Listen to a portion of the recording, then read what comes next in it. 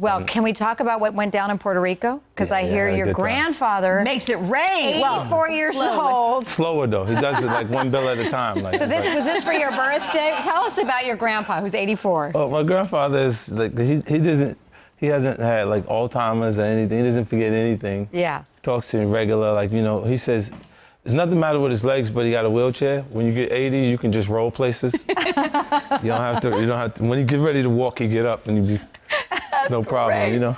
So he wanted to go to a strip club? Is Yeah, that he asked me because when we got there, it's just like sometimes I get a nice place for us to stay. Like, like the last three years we went for my birthday, we went away. Yeah. So I went to Montego Bay, we went to uh, Turks and Caicos, and then we went to Puerto Rico this year.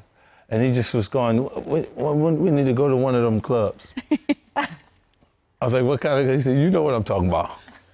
so I was like, all right. I asked the driver to take us. We went, and he has a good time. He goes.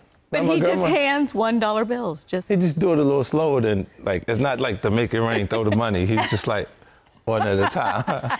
I love how close you are cute. with him. Have you always been so close to your granddad? But closer to him now that my grandmother's not around. Oh. You know, because when we lost my grandmother, and then it's just like it's just him left. Like they're they're with my babies. Aw. Did he help raise you?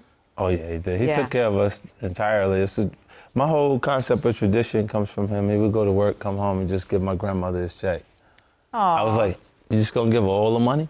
Like all of it? Like what is going on? He's like, look, shut up, kid. You don't know.